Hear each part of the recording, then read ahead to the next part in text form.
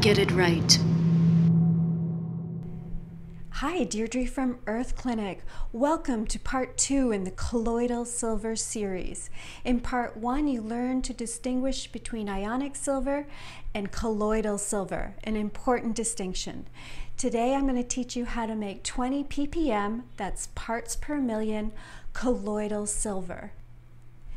20 ppm, which is what this is, means you do not need to dilute the solution once you've prepared it. You're going to need distilled water, your device. I'm using the fabulous Silvertron Elite, one of the best generators on the market, made by a wonderful inventor in Pennsylvania who can only make a few of these a week. So ladies and gentlemen, get in line if you want one. You may end up on a waiting list. Okay, here's my one quart mason jar. The lid that goes on top of my mason jar, which was specifically designed to go on a one quart mason jar.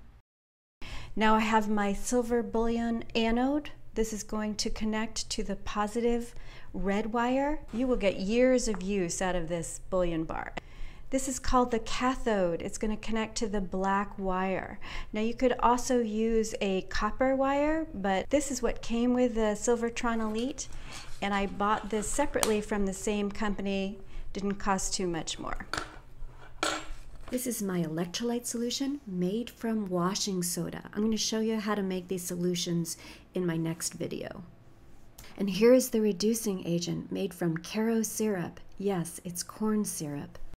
Even though Karo syrup is made from GMO corn, it is so highly refined during the manufacturing process that no genetic material remains in the resulting product.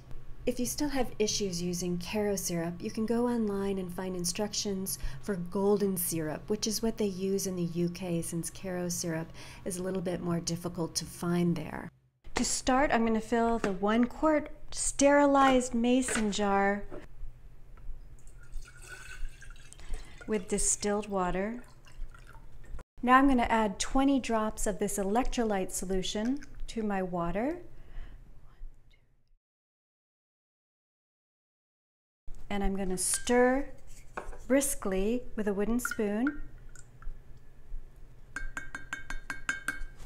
Now I'm going to attach my silver bullion bar by threading it through one of the holes and attaching the red wire at the base Now I'm going to place the lid so it sits securely on the jar. And I'm going to adjust the bullion bar so it is submerged, but so the rivet at the top is not submerged. It's a little difficult to tell. So I'm going to pull it up slightly. Now what happens if that rivet is submerged is that it will wear over time and break apart. Now I'm going to take my silver cathode and put it in the other hole on the other side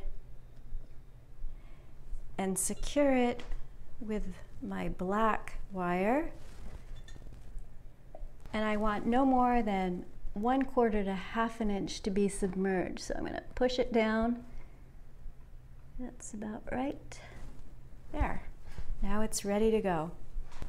So next I'm going to plug in my machine.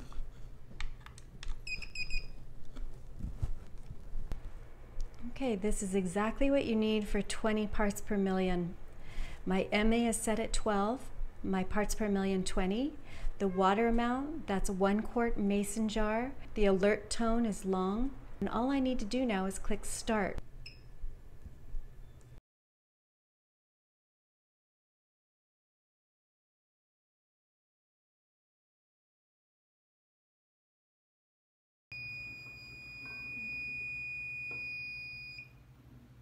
When done, the batch should look clear and colorless like the distilled water that you started with. This is ionic silver at this point. If you wish to convert this ionic silver to colloidal silver, you're going to take off the cap, add five drops of your reducer solution,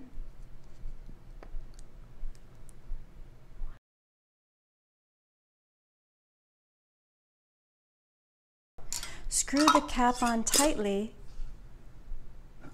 Shake vigorously. Now, if you're not in a rush, you can leave this for about 24 hours and it will turn into colloidal silver. If you are in a rush and you don't mind using a microwave, you can stick it in the microwave. Of course, make sure the lid is off. You would stick this in the microwave like this for three to four minutes. So you want to bring it to just below boiling point in the microwave.